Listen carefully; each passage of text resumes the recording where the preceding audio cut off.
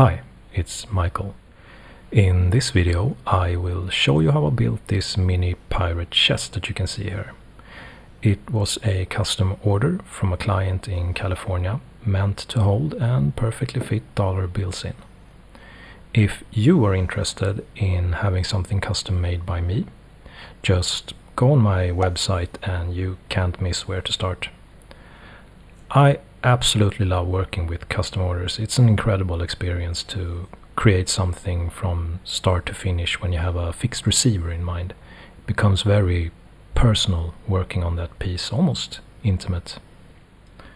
If you find any value from this video, maybe you're bored or want a voice to sleep to, please hit that like button, it really helps out. Hopefully I'll even earn your subscription with this video, or maybe it will be the next one. Either way, I greatly appreciate you watching and showing interest in my work. So, with that said, let's get on to commentating this video. Right here I am resawing a piece of walnut and resawing basically means that you are splitting a board into two new pieces. This is of course most efficiently done by a bandsaw but I don't have access to one so I do it by hand which is quite a lot of work. So here I'm hand planing the surface that has been in contact with the saw because you basically I mean it, it gets a little bit scruffy so you just want to plane it out get a smooth surface and as you can see here I'm removing quite a bit of material so if you're planning on doing this on your own I would recommend giving yourself some uh, margin. Oh yeah, and I managed to fix that issue about the table moving around like that. I uh, got myself some uh, vibration dampeners. Uh, they're basically made out of some sort of rubber. Just put them under each of the table legs. Give it some traction. Also helps with the vibrations, I guess. Alright, got my board ready. So right away I started to work on the lid. And this lid became uh, a little bit of a project on its own.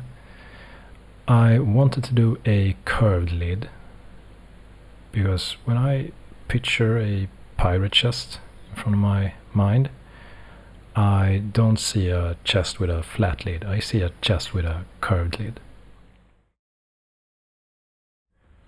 So the way that I decided to do the lid was by piecing together a series of strips instead of just bending a piece of wood because if you're bending a piece of wood you're to get a very uniform arc and the way that I pictured a pirate chest it wouldn't have a uniform arc it would have more of a rugged kind of arc and you would get that look from uh, piecing together the lid instead of bending the lid. So uh, here I'm working on those individual pieces and I choose to go with five pieces for the lid and they of course had to be cut out on an angle to form the arc. And the way that I made the arc made it so that the angles were in unison I didn't go with the 180 part of a circle. I went with more of a top part of a circle, as you can see in the paper right there. And calculating that, like the width of each piece to get the entirety of the width that I wanted for the lid and the, each angle between each piece to make up for this width um, it wasn't super easy, not gonna lie.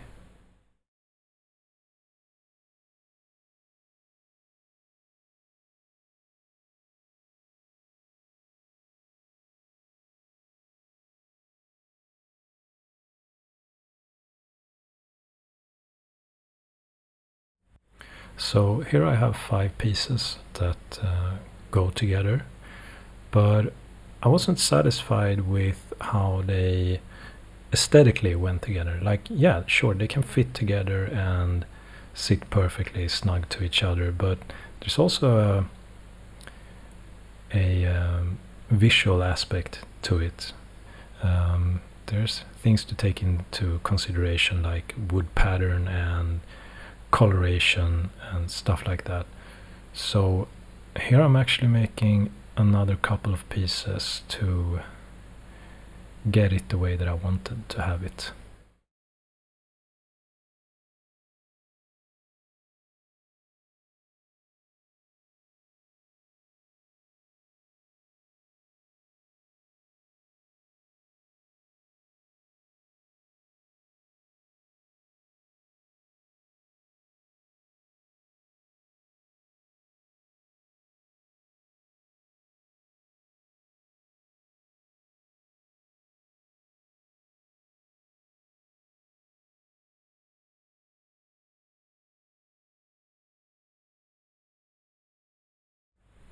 And this time I went with a skill saw. Just easier to do the angles.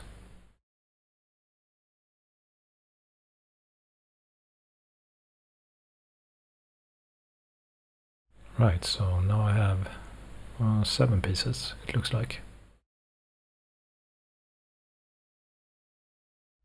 And I'm trying out different configurations to find the one that I like, and there I got it.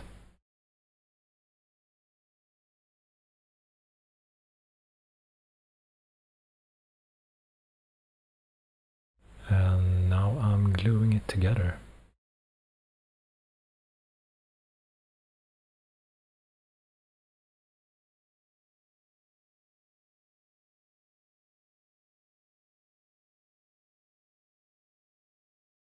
And there's your curved lid.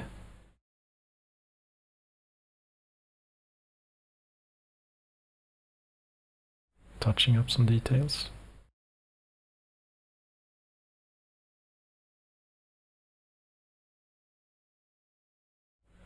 And here I'm starting on the bottom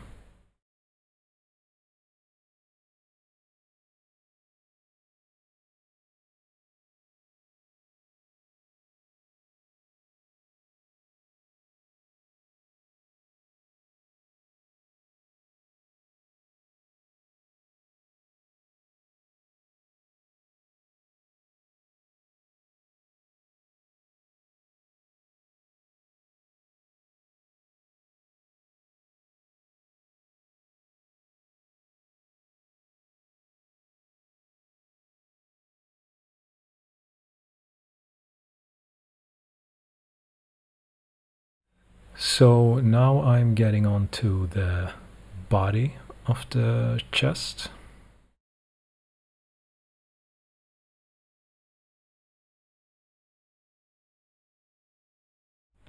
What I'm doing uh, on this board here is just really going into uh, the micromillimeters of things to make the edges sit really snug to each other.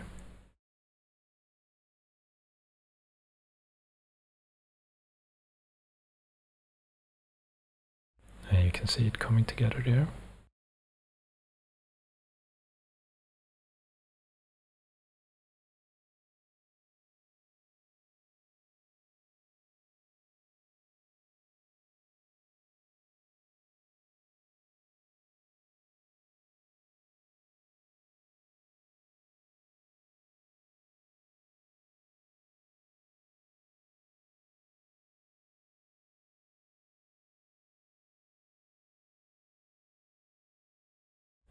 Back to the bottom.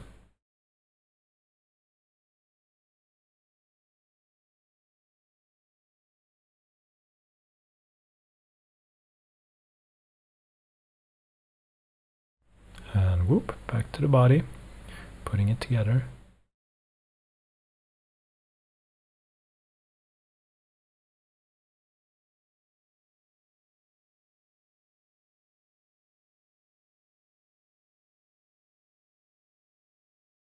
And back to the bottom again.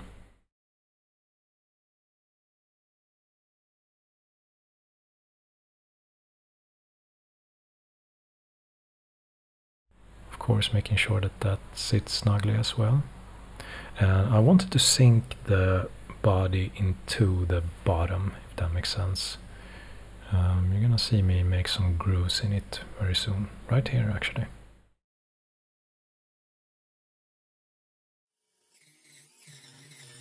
Yeah, so there you see me facing out some edges and the body will sit on top of that, sort of sink into the bottom.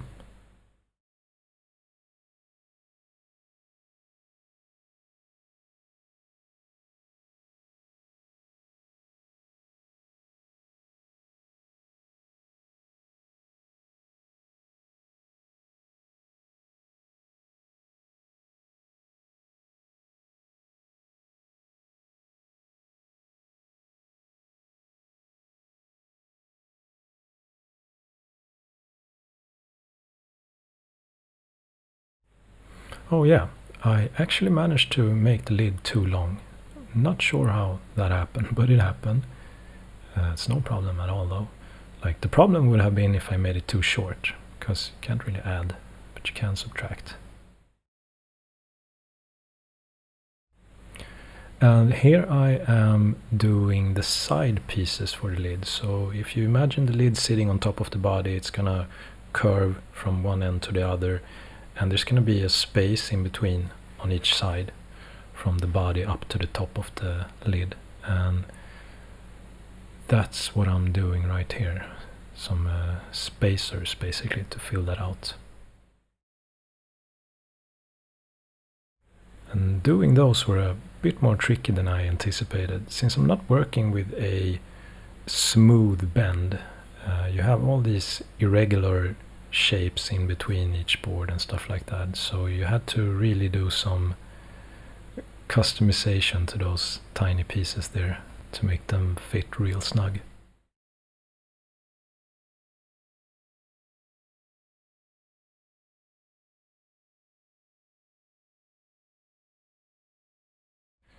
And now it's time for some sanding.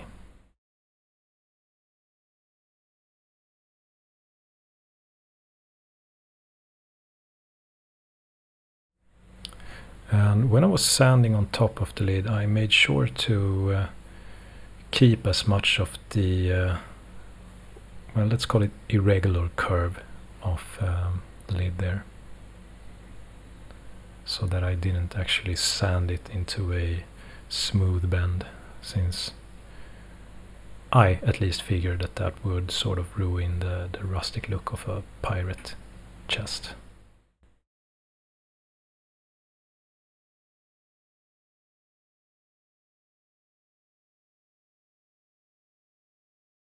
And now I'm gonna start making some grooves around the box.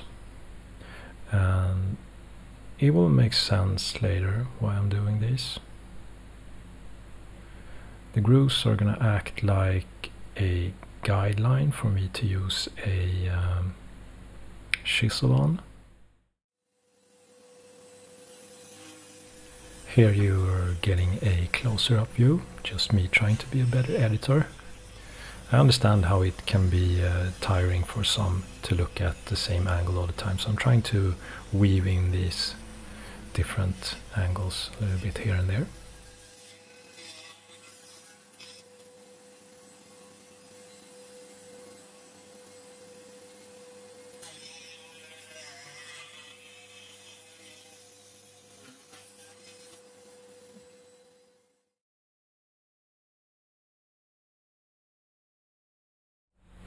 And here I'm putting the chisel to it. And you can see how that groove acts like sort of a support line uh, and guide line to that chisel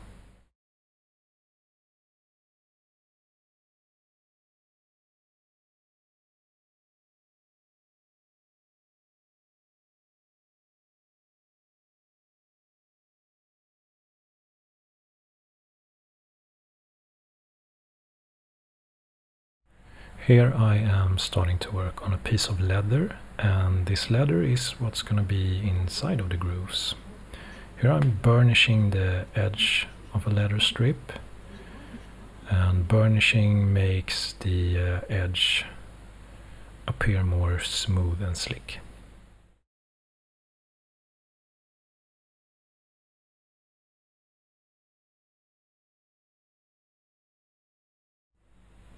So now I'm gonna go around the entire box and cut these grooves that I need.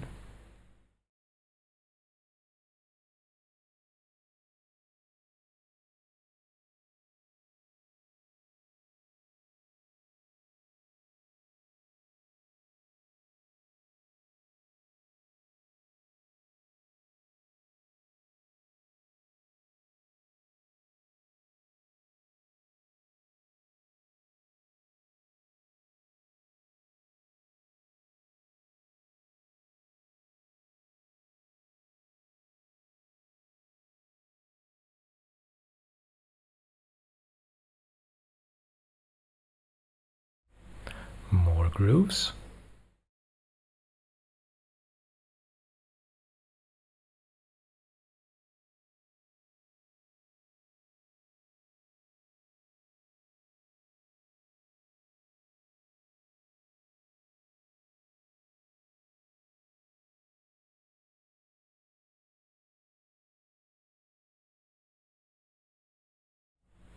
A lot more grooves.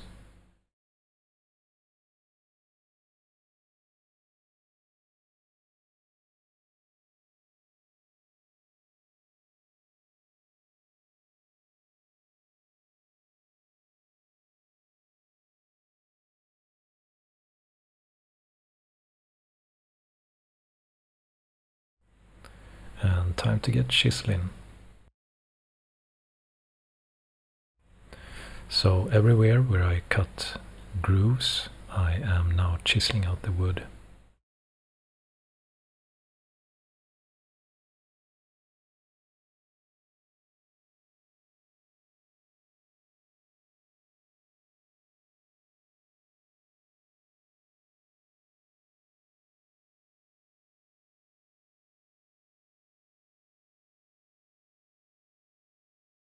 All right, even more grooves. Forgot about that.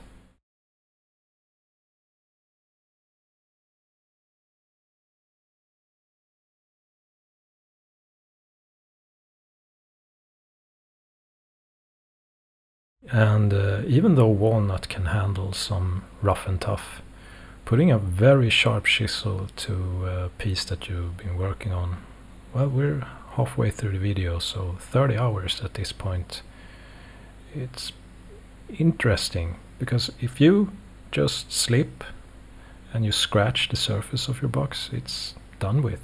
So you need to have a cool stomach.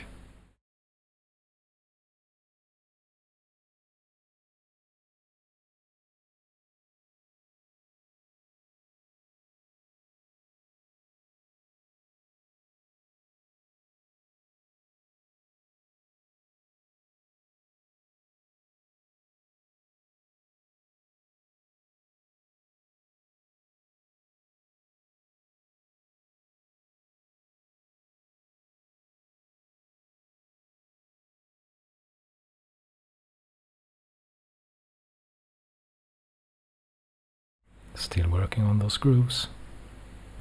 There's a lot of them.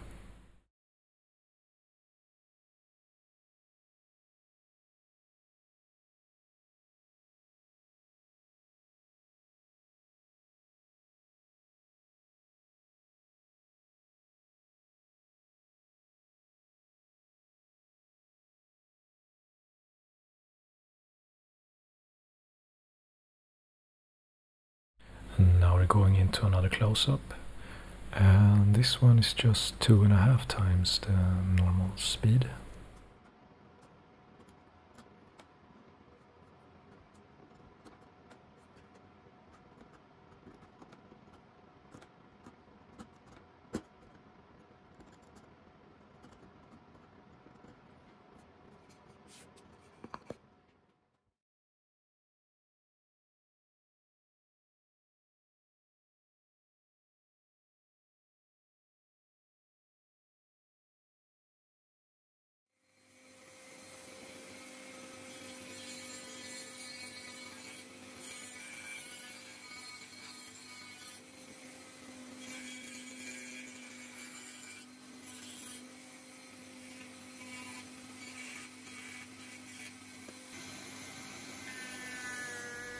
That is satisfying.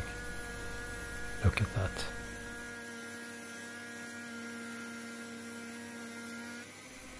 Yum.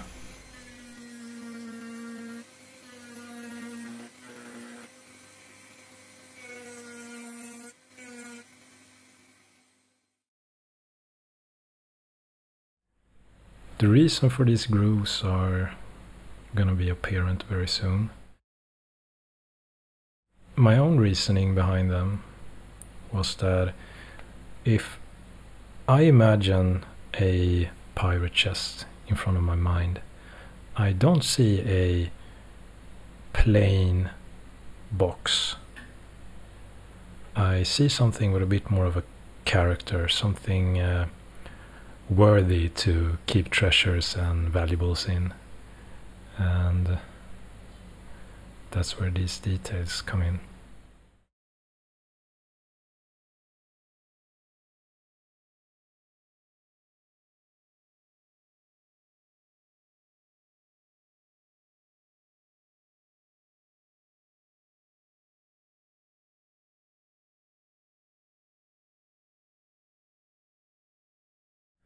and here I'm touching up those grooves making sure that every single one of them is adhering to the leather in the way that I want them to do.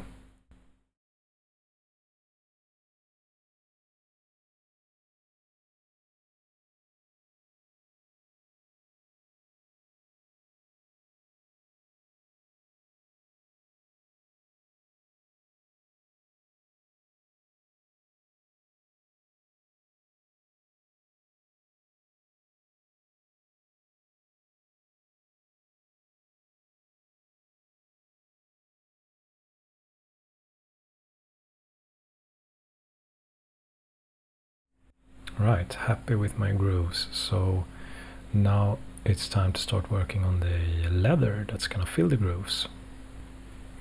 That was a leather hardener. Just makes the leather a bit harder. Self-explanatory, I guess.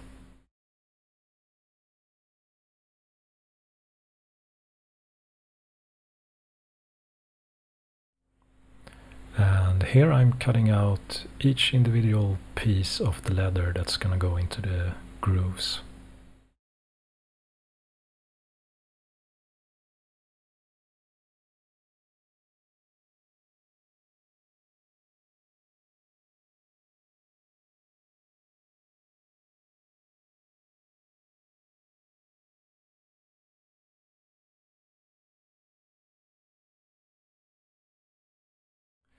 Making sure that my cuts are straight where I need them straight and at an angle where I need them at an angle. So for example, the leather strip on the bottom part of the long side is going to meet up with the leather strip on the short side of the bottom and between those leather strips I wanted a 45 degree angle so when they do meet up you don't have any edge on the outside.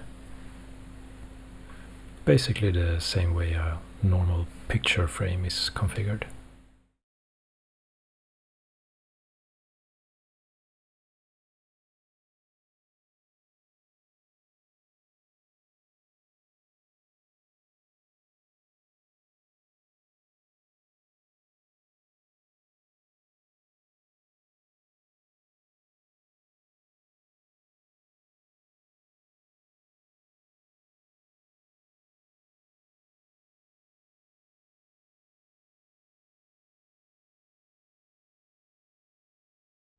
Some more edge burnishing.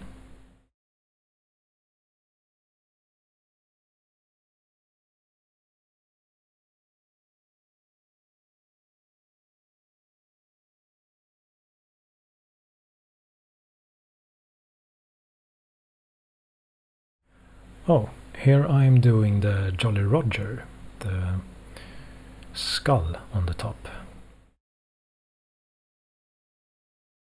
This was a uh, beautiful late summer night.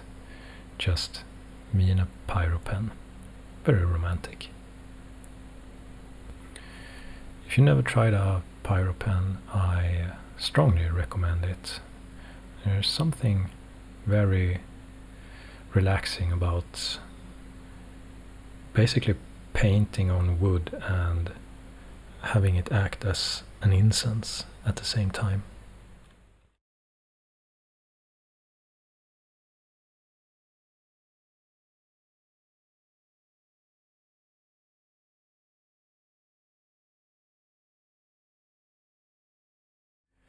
Here I'm mapping out where each piece of leather is gonna go.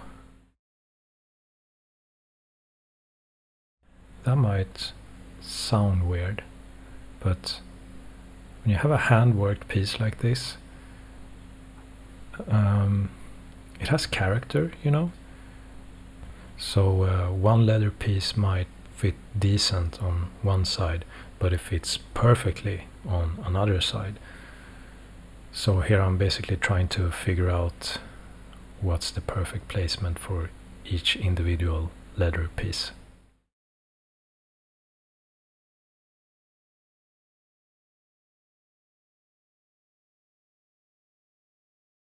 And you can see me put small stickers on them to keep track of what is what and what belongs where.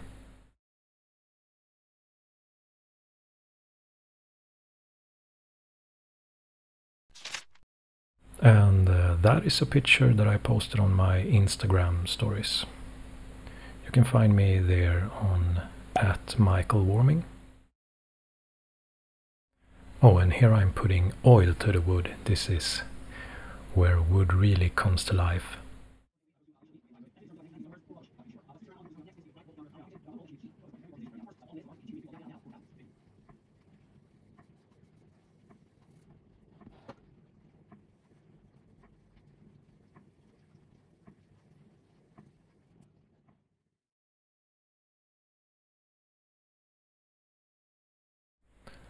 Another late summer night. Oil is going on on the inside.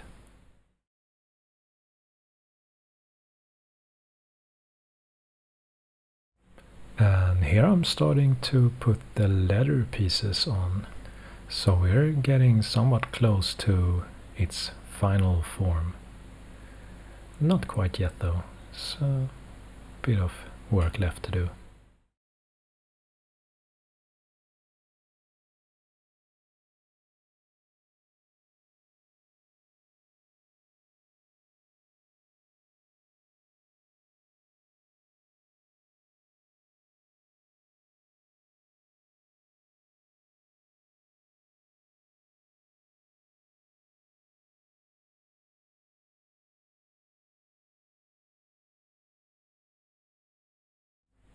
I was not tossing it around there. It may have looked like it. I was uh, making sure that every single piece of leather was really in there.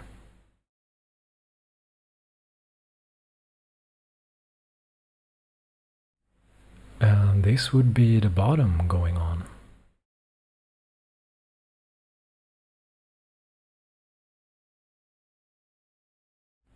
A little Easter egg right there. I don't know if you caught it, but I signed my name onto the wood under a piece of leather right there.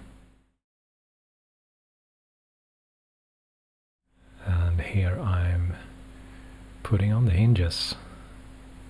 And man, putting a drill to a nearly finished piece that you've spent some, well, closing in on 60 hours now. That's another one of those that you need a cool stomach for. Here I'm setting the hasp with some uh, brass nails.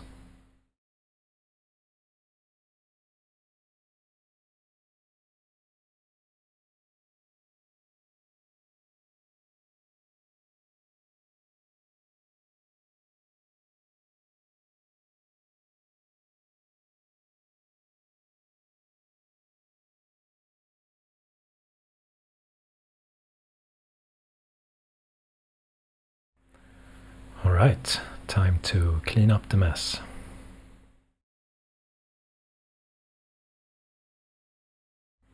And the finishing touch, my logo onto the bottom.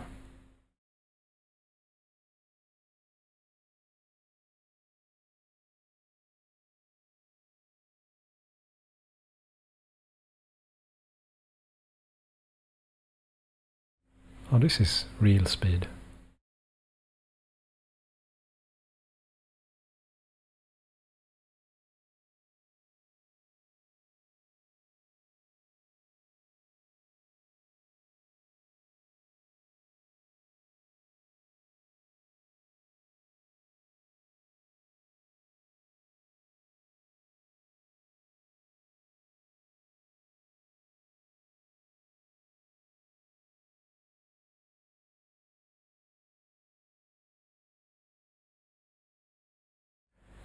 And there she is. She is done. And here I'm packing it. Ready to go on a quite a journey all the way from little Sweden to sunny California.